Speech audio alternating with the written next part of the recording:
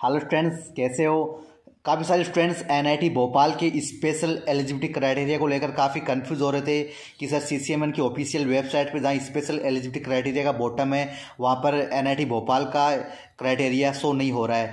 तो हम कैसे चेक करें? तो स्टूडेंट्स, इस पर हम डिस्कस करेंगे विद प्रूफ और ध्यान रखना स्टूडेंट्स, आज रात नौ बजे आज रात नौ बजे हमारा फ्री लाइव सेमिनार होने वाला है। उसका लिंक मैं डिस्क्रिप्शन में दे रहा हूँ। वहाँ पर क्लिक करके आप रिमाइंड सेट कर लेना। जब भी हमारा लाइव सेमिनार स्टार्ट होगा, आपके पास नोटिफिकेशन आ जाएगा स्टूडेंट्स और जो भी आपका डाउट है सी सी काउंसलिंग को लेकर आई आई टी काउंसलिंग को लेकर, हर तरह का डाउट आप लाइव सेमिनार आप लाइव सेमिनार में क्लियर कर सकते हैं। तो स्टूडेंट्स उन्होंने बोला है एन आई टी भोपाल के प्रोफेसर ने कि ईमेल के थ्रू कि हमारा कोई स्पेशल एलिजिबिलिटी क्राइटेरिया नहीं है। जिन भी जिन भी स्टूडेंट की अवेलेबल चॉइस में रजिस्ट्रेशन करने के बाद में आगे चॉइस फिलिंग में जहाँ आते हैं तो जिन भी स्टूडेंट्स की चॉइस फिलिंग में एनआईटी भोपाल अगर शो हो रहा है तो वे स्टूडेंट्स अप्लाई कर सकते हैं। वे हंड्रेड परसेंट उसके लिए एग्जिबल हैं। मतलब इसमें कोई स्पेशल एलिजिबिलिटी क्राइटेरिया नहीं है कि आपके ट्वेल्थ में मैथ होना चाहिए या बीएससी में एज ए एक सब्जेक्ट मैथमेटिक्स या फिजिक्स या केमिस्ट्री होना चाहिए। मतलब सभी स्टूडेंट्स एलिजिबल हैं। इसमें कोई स्पेशल एलिजिबिलिटी क्राइटेरिया नहीं है।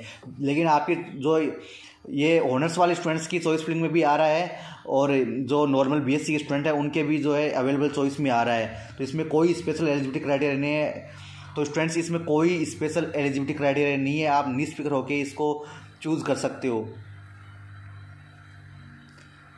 तो स्टूडेंट्स इसमें कोई स्पेशल एलिजिबिलिटी क्राइटेरिया नहीं है। आप सभी स्टूडेंट्स इसके लिए अप्लाई कर सकते हो। जो भी केमिस्ट्री या फिजिक्स के स्टूडेंट्स हैं मैथमेटिक्स का डिपार्टमेंट अभी नहीं बना इसमें। तो स्टूडेंट्स ऐसे ही नॉलेजफुल अपडेट के लिए हमारे चैनल को सब्सक्राइब कर लीजिए। अदरवाइज़ वीडियो को लाइक शेयर करना ना भूलें और आज रात नौ बजे डिनर करके तैयार रहना स्टूडेंट्स हमारे लाइव सेमिनार में पार्टिसिपेट करने के लिए थैंक यू